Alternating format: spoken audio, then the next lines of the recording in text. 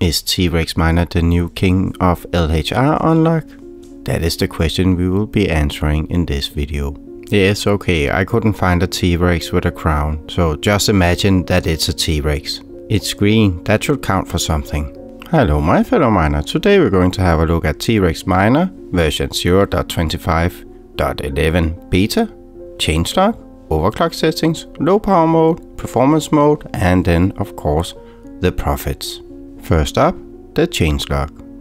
Changelog improved LHR unlock functionality by a few percentage. And then some blah blah blah, don't care, and a bit more of blah blah blah, couldn't care less. We will also be testing LHR low power mode, of course, to see what the results will be. Please note that this is a beta and doesn't represent the final version. Now let's have a look at those fantastic overclock settings, shall we? Overclock settings. It's a beta. Please note that I'm very well aware that the RTX 3050 and RTX 3080 12 gigs works much better when you disable LHR and you overclock them lower. I want to test the LHR unlock ability on these two cards and that is why you see the clocks you see. I have actually tested over 20 different combinations with them and I settled on these because why not?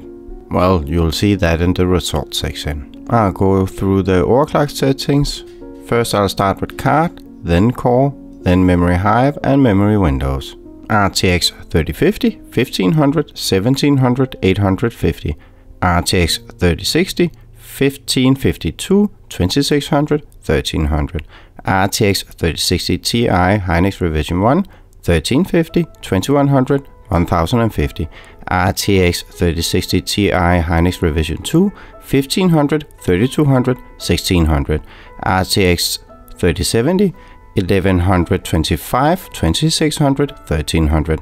RTX 3070 Ti 900, 2300, 1150.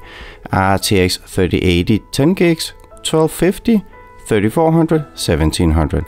RTX 3080 12 gigs, 1400, 2400, 1200.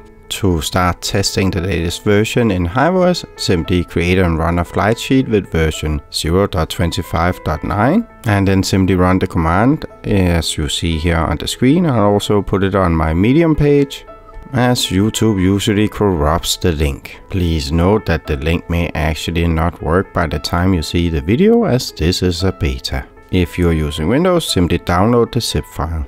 I will not go into details about how to make a batch file as this is a beta. If you already have existing batch files or an existing flight sheet then please remove your LHR tool settings from them. They will either result in a lot of logs or a lower hash rate. And don't worry, I'll do the full Monty banana split as soon as the final version has been released.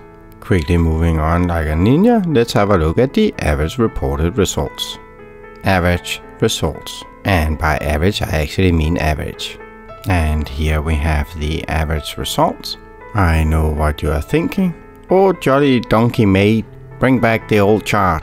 Here, have some tea, you bloody wanker.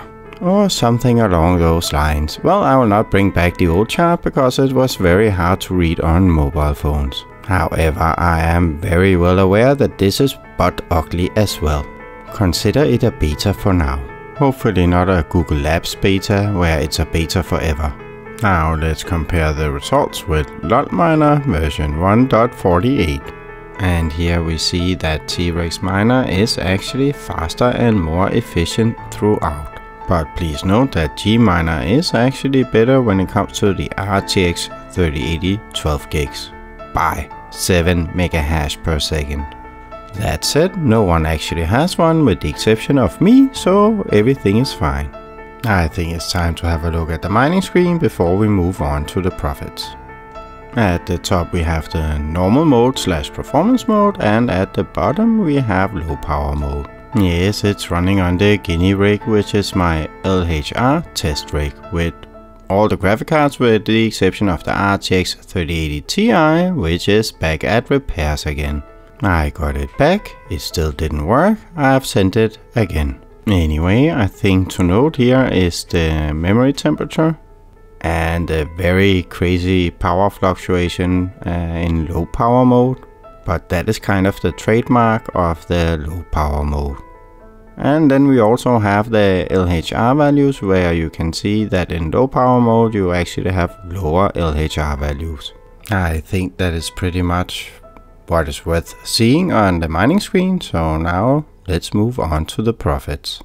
If you are interested in seeing this daily, then you can actually visit my new channel and subscribe there, and you'll get a daily video update every single day, even in the weekends. You can find the link in the description and also in the pinned comment. I hope you enjoyed this video. If you did, then subscribe, hit the like button and share it with your grandma. See you in the next one.